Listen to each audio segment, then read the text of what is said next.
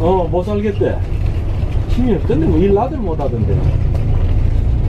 아빠 일. 2번 차우지. 주소가 다음 아빠를 알려줘. 알고 말겠다. 엄마 가야 와서 다 있어. 풀이 이 정도 뜯으면 얼마든지 뜯어볼 수 있거든.